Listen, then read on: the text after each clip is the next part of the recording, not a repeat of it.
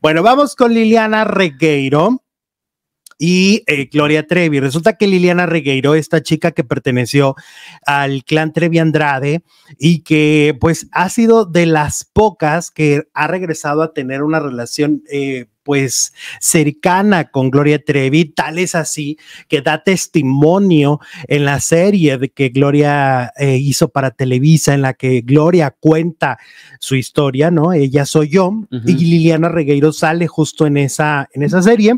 Pues mira, la verdad es que la, entrevista eh, que le dio ayer a Inés Moreno a su en su canal, que la pueden ir a checar, pues una entrevista muy reveladora, porque es una Liliana totalmente distinta a la que hace un año, un año y medio era cercana a Gloria. Em, entre las cosas que dice es que pues se ha decepcionado por la forma en que Gloria se expresa en privado de las demás exintegrantes del clan de la forma en que ha ido distorsionando las historias de ellas, las ha revictimizado según lo que siente Liliana Regueiro. Hay una revictimización por parte de, de, Gloria hacia las chicas, pero además eh, ella que fue tan cercana y que hasta le propusieron trabajar con, con el equipo de Gloria, dice que le propuso que se fuera a Estados Unidos junto con, todo y su hijo, eh, que fuera su asistente personal.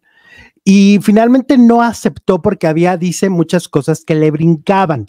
Em, entre las eh, cosas que dice fuertes es que recordemos que Armando y Gloria han estado a punto del divorcio. Y entonces, como han estado a punto del divorcio, eh, a ella le tocó estar como en medio del fuego y Armando hablaba cosas espantosas de Gloria. Y según lo que cuenta Liliana, pues si en algún momento tiene que contarlo o decirlo, públicamente lo hará, porque pues ahí estaría sí eh, balconeando cosas muy fuertes como eh, la, cómo se expresa Armando del hijo mayor de Gloria, el hijo que no es de él que, es, de, Sergio Andrade.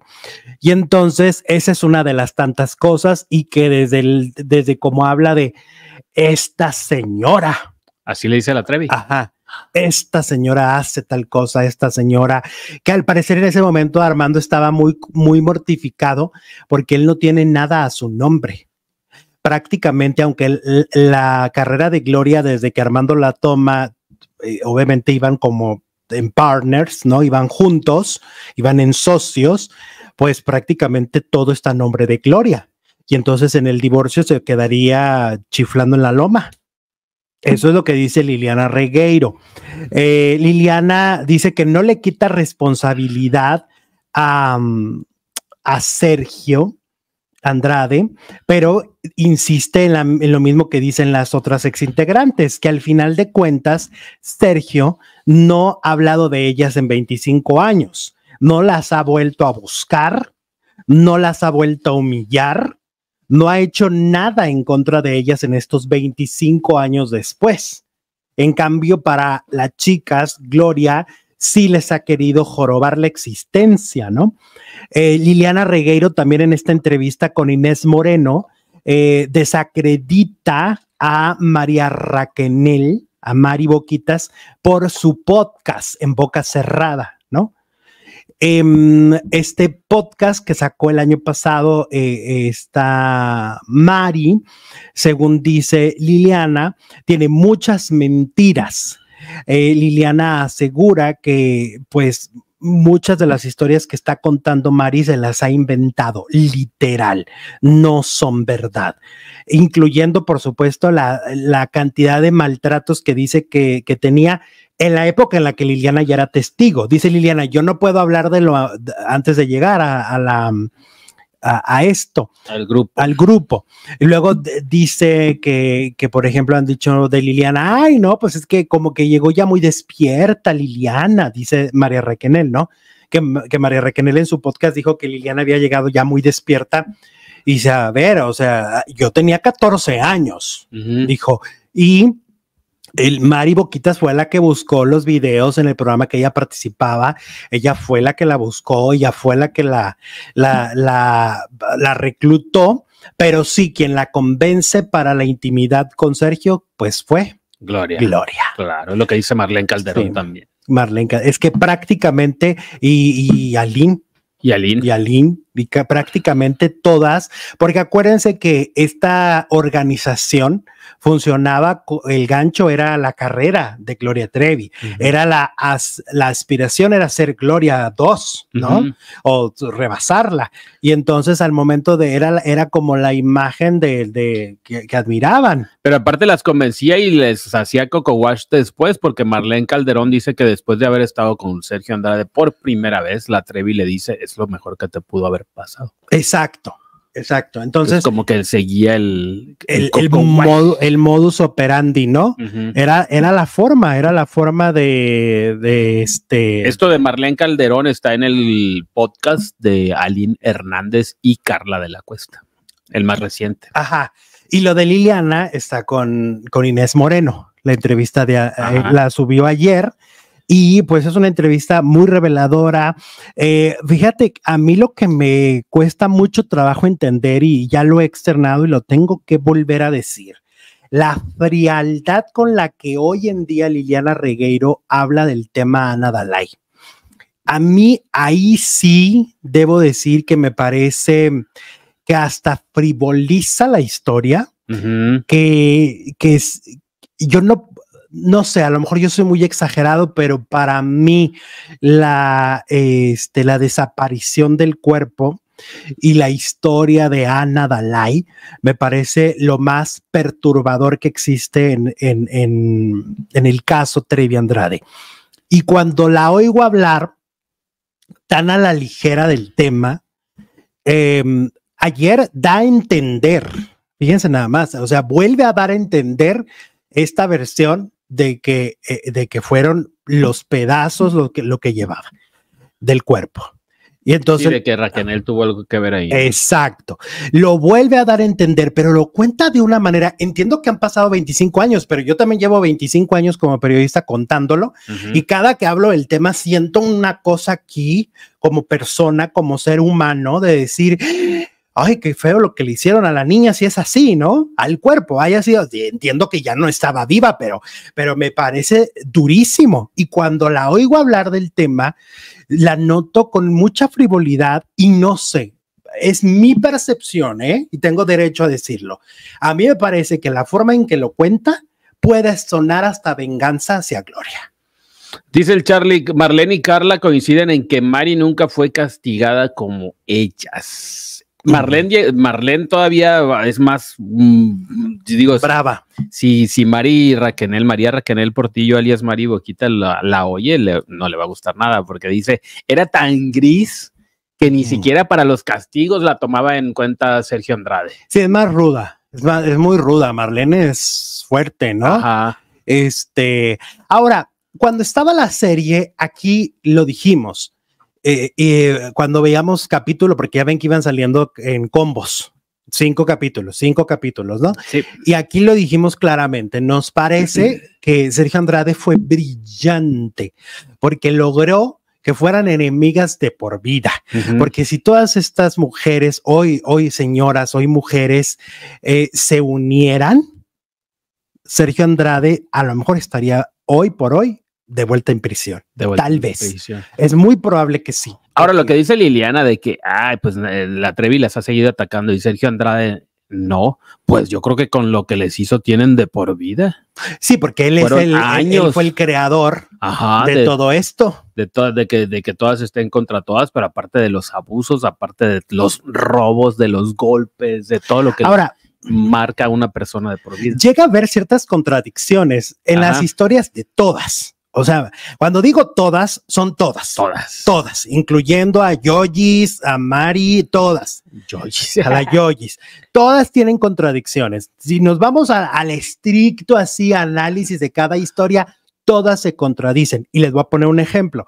En la entrevista con Inés Moreno que, le, hace a Liliana Regueiro, Liliana dice que Gloria no tenía el mismo nivel de, de- agresión por parte de, de Andrade, pero por, ej- por ejemplo, ella después se contradice porque dice, es que cuando se pasa lo de Ana Dalai, Gloria le reclama y le empieza a decir, es que esto es un castigo. Ajá. Esto es un castigo por, porque ya no, ya no golpees a Liliana, ya no golpees a Katia, ya no la... y que entonces todas se quedaron sorprendidas porque Gloria reclamara y pues, quiere decir que entonces ella no podía expresarse tampoco libremente. Por algo se sorprendieron de por qué en este momento Gloria sí se atreve a hablar, ¿no? Pero es porque ella tampoco se expresaba libremente, ¿no? Tampoco eran, eh, no había, siento yo, por más que lo, por más que quieran irse contra Gloria, no había igualdad con Andrade. Siento que Sergio y Gloria no eran iguales en esta organización. A lo mejor eh, entre Gloria y Liliana había una diferencia, pero entre Sergio y Gloria también. Él era el que ejecutaba, él era el, el, mero mero. El mero mero, y eso no se puede borrar y eso no se puede olvidar. Por eso les digo, si revisamos las historias de todas y cuando lo cuentan, vamos a encontrar inconsistencias. Es obvio, porque aparte han pasado 30 o 40 años. Claro. Don Corazón es Team Gloria Trevi, claro que sí. Ok. Eh, Andrade es otra Didi, dice Loren Zamora. Ok. Y pues las historias de Liliana Regueiro y Marlene Calderón coinciden. ¿En qué coinciden nuevamente? Eh, en volver a confiar en Gloria y en, en que el interés primordial de ambas fue el económico en esta segunda vuelta. En esta segunda vuelta, lo que las hizo creer en las palabras de Gloria Trevi y Armando es un interés económico. y lo han dicho las dos. Ya no tanto de que me va a lanzar y me va a hacer. Ajá. Como que ya no les interesa tanto. No, porque ahora son, pues, señoras de casi 50, años, ¿no? Este, con hijos, y ahora entonces están pensando en los patrimonios que dejarán, ¿no? Eh, en el caso de Liliana no hay un interés de la carrera, en el caso de Marlene sí lo hay, ella lo dice, ¿no? Le pide a Gloria recomendaciones, le pide que la, que la lleve a lugares para que la, para que la, le saquen un disco, está sacando una canción actualmente con un dueto, en un dueto, es decir, Marlene Calderón sí quiere tener una carrera como cantante. Y en el caso de, de Liliana Regueiro, no. Liliana siempre habló uh, así. Hay una entrevista hace como 15 años, los dice Sole Soledad en un noticiero argentino y lo cuenta sin emoción, como quien pasa una receta. Sí, así como de pues le eché sal, le eché este tres litros de agua, ¿no? Y luego lo, y luego lo moví y ya. Pues no soy psicólogo, pero pues, a lo mejor lo es como lo, lo aleja de ella, ¿no? Como para no sentir o hacerse responsable de algo que hizo. Y sí, porque ahora ella dice, ella dice, es que la policía, eh, eh, personas, dice, me llegaron a decir, es que la policía primero le va a preguntar a los papás y luego vas a ser tú la responsable. Sí y no, porque al final todas ahí, ¿no? Ocultaron el que un, un ser eh, estaba desvivido en ese departamento, ¿no? Todas, incluyendo los padres, pero quien cargó el cuerpo, el cuerpo con toda la conciencia y lo arroja, se llama Liliana Regueiro. Perdón, no se le puede quitar responsabilidad, aunque ella en las entrevistas hoy por hoy casi, y hasta le preguntó Inés, le dijo, ¿y, tú crees que Gloria sepa dónde, a dónde fue a parar el cuerpo de, de Ana? Y entonces ella dice, creo que sí. ¿Cómo vas a ver? ¿Cómo vas a ver Gloria Trevi? Pues es que fue en un río, ¿no? Fue en un río no. ¿Cómo lo vas a ver? Es como si lo hubieran aventado a la fosa común. No, no, peor, porque peor. una fosa común no se mueve y el río sí. El río tiene corriente. es que hoy Liliana lo mira esto como un episodio no tan trascendente. Y repito, es el episodio más perturbador que tiene el caso, ¿no? Es lo más terrible que les pasó. Fue lo más feo. No, o sea, los maltratos de esclavitud, por supuesto, pero todas están vivas para contarlo. a nada la ¿no? A nada la Esa es la diferencia. A los hijos, a los demás hijos sí los maltrataban. A Ana Dalai no. Nada más que a Ana Dalai la taparon un día y, y dejó de respirar. Mm. Esa es la, o sea, vamos a ser conscientes de esto. Y me parece, y la veo en una entrevista y a mí me estremece más cómo lo cuenta O sea, a mí me deja helado, porque lo cuenta como dice Sole, como si estuviera dando una receta de cocina. Más emoción le pones a una receta de cosas. Pues sí, oye. O sea, me, yo me estoy indignando más del, del- de cómo está contando esto esta mujer. Pero lo, lo más sorprendente es que Gloria Trevi la quería de asistente. O sea, como. Es que eso también es tan. Ay, no, no, no, no, no, no, no. Yo hay amigos, bueno, más bien ex amigos, que no quiero volver a ver en mi perra vida. Por una tontadita. Ya esta, y esta mujer puede querer a- a- como brazo derecho Ajá. a quien arrojó el cuerpo de su hija a un río, sigo sin entenderlo. Perdón, no lo entiendo, no me entra en la cabeza y no me va a entrar en la cabeza. Bueno. Gracias, ya me voy. Bueno, en temas más agradables, la chilindrina. Ay, bueno, vamos con la chilindrina. Vamos con la chilindrina que resulta eh, que la están eh, criticando. Fíjate que la están criticando ¿Por qué? horrible, ¿Por qué? horrible a mi chili, chili, chilindrina, ¿no? Ajá. Dice la, la, la nota, hija, hijos de la chilindrina le dicen ridícula, hijos de la chilindrina, ¿cómo? Hijo de la chilindrina. Hijos de la chilindrina. o sea, el público. Hijos de la chilindrina. ¿Tú eres hijo de la chilindrina? Yo no. ¿Y eres público? Pues- hijos de la chilindrina. Ah, bueno, pues le dicen ridícula por querer vestirse del personaje al morir, Al morir. No, al. al desvivirse, al desvivirse. Dice, un deseo particular ha desatado debate. La actriz quiere ser sepultada con el característico vestuario de la chilindrina, el personaje que la hizo famosa en la televisión. Ujú. Y según dicen, sus hijos no están de acuerdo y consideran que hacerlo sería ridículo. Un comentario que ha generado reacciones encontradas entre los seguidores del artista. Eh, a ver, pues es que sí está, sí está raro, ¿no? ¿Por qué? Pues sí, que tiérrenme como la ¿Y chilindrina. qué tiene? ¿Cuál es la bronca? ¿Qué al caso? Bueno, sí, cada quien se puede ir como quiera, ¿no? Y Su puede- última voluntad. Por eso se llama última voluntad. pues sí. Y dice sobre todo que es- simboliza el cierre de un, de un ciclo. O sea, simboliza el cierre de un capítulo. No, pues ¿cuál cierre? Pues así va, va, va a vagar por la eternidad como la chica. Pues en las redes sociales la critican horrible. En las redes sociales dicen que, que para qué, que cuándo, que cua- así todo. Pues cada quien que, a ver, ¿tú cómo quieres que te entierren? No, para empezar no quiero ser enterrado, quiero ser incinerado. Ah, no, bueno. Desde ahí estamos, en- desde ahí estamos, este, ¿cómo se dice? En otro, en otro, en otro tema. Ah. Sí, sí, sí. Bueno, Sí, a mí, a mí háganme polvito y aviéntenme al, al baño si al quieren, ser- pero, pero eso, eso va va a ser lo mejor. Bueno. Sí, ¿cómo ves lo de la chilindrina? A ver qué opina nuestra audiencia. La gente hipócrita y nefasta, dicen por aquí. Eh, Gloria, bueno, es que ahí dice varios comentarios de la Treviño, de Gloria Trevi. Sí está ridículo, dice Luzbel. ¿Por qué ridículo? Pues cada quien. Eh, sus hijos, sus hijos tragaron, bueno, comieron del trabajo de su madre como la chilindrina y así agradece. Es cierto, mira, eso no lo habíamos tomado en cuenta, Erika. Ellos también vivieron del personaje, ellos se mantuvieron del personaje y si ella quiere ser, eh, pues pasar a la inmortalidad vestida de la chilindrina, yo creo que lo deberían de respetar. Dice Judith, si la chilindrina quiere su ropita para trascender, pues que lo haga. Claro que sí. A ver, cuéntenos, paranduleros, ¿cómo les gustaría ser eh, sepultados? Se puede decir que la, vistan de la chimoltrufia. No, mi corazón, esa es doña Florinda. Eh, la chilindrina que haga lo que quiera, dice Veroxita. A nosotros eh, y a sus hijos menos. Yo creo que la chilindrina se ha ganado pues el respeto y el cariño de todo el mundo, entonces puede ser enterrada como le dé la gana. También se enojaron porque, ¿por qué?